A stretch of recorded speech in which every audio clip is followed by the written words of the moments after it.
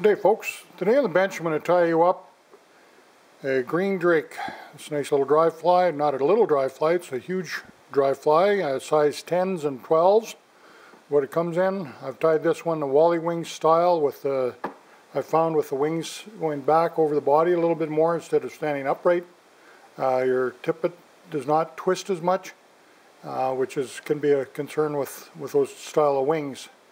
The Wulff style flies work great. They're a little harder to deal with uh, doing those wings, but uh, well, let's do a Wally Wing style uh, green drake here for you today. Uh, we'll be using a standard uh, down eye dry fly hook, size 10. You can go to 12s like I mentioned. We're going to be using some watery olive flat thread to tie with. The rib on the body, I'm going to be using some kind of yellowish kind of a yellowish gold or yellow is good. Uh, super stretch floss. Um, the wings, of course, we're going to be using some mallard flank. The uh, hackle on the front, we're going to be using some olive dry fly saddle. And uh, we'll go with that. Okay, let's uh, get a hook in the vise. Tie one of these up it's a slender fly, it's quite large, but uh, I want a fly that rides in a little bit rougher current. This fly will handle that water just nicely. Get my flat thread on the shank, and then I come in with um, my tail, which I forgot to mention that, is moose body hair. Real nice moose, we'll use that. That gives it uh, a lot of good flotation at the back. Makes great tailing material.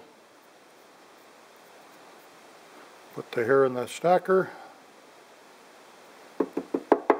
Always stack a little extra. Now, some folks will do the dry flies, they'll split the wings and count so many on each side.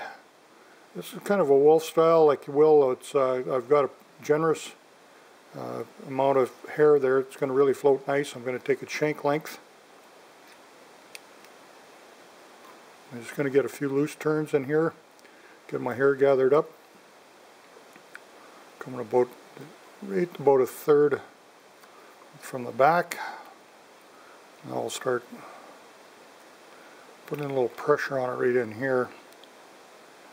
I'll get my um, floss. This is super stretch floss. You can use, if you don't have that, use some yellow thread. Um, the bodies on a lot of these green drake patterns you're going to see in recipes is going to be um, dub bodies, dry fly dubbing of course. And I like using this shinier materials. You look at the green drake, it's actually a shinier body. It's not a, it, it gives me the segmentation I'm looking for and also the uh, kind of a shiny appearance if you will. Now we're just going to get a bit of a taper to the front. It's fairly thick.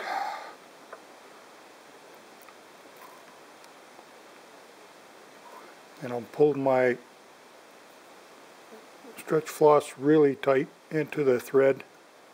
It's a good segmentation and, and this to me is, is probably as good a replication for that body as I've, I've, I've seen. Works good. Um, easy to use. Here the tails can point up a little bit. It's really kind of the natural, uh, the way they look in the water. Okay, I'll come in that. Now, to our wally wings, I'm going to grab a mallard flank, get rid of the fuzzy stuff in the bottom, grab the tip, the feather, and I fold all this down. Get that about even, so that is even right in there. Come in here with the length of your wing. And I'll cut that off right snug there.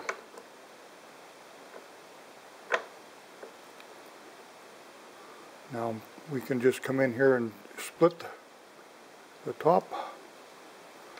Both sides.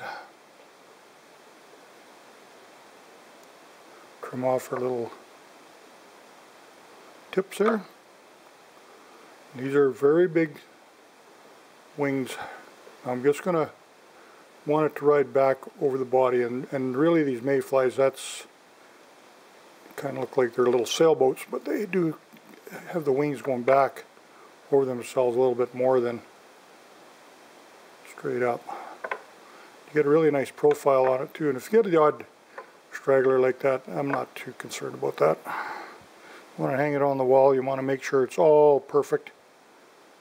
If I'm going fishing with that it'll last just fine. And I'm just putting the hackle on the front.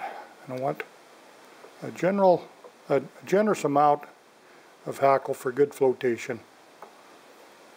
Get some good dry fly floating on there. Get about six, seven turns. That's I don't cut it, I'm just using the edge of the scissors for the as a knife.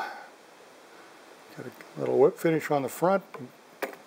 Put some head cement on there if you want. Just split that off with a knife again. There's one little straggler here. Bothers you, you can just knock that out of there. Nobody will know any difference.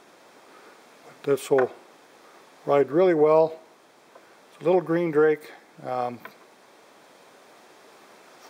the feather I used down the bottom actually was could have used just a little bit longer feather and then those uh, fibers would stay down in there. I'll just trim this little wild one out here too for you, but to go fishing I would not be concerned about that at all.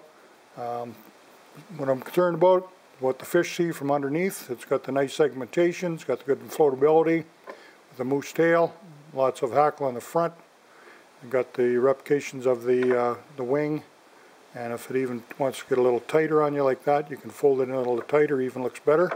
So there you go, green drake. It's a it's a hatch you definitely want to fish. You can tie this up in your brown drakes, of course, and grays. So all the best to you on the water with this one, and uh, hope to catch you again real soon on on the bench, sport fishing on the fly. Catch you again.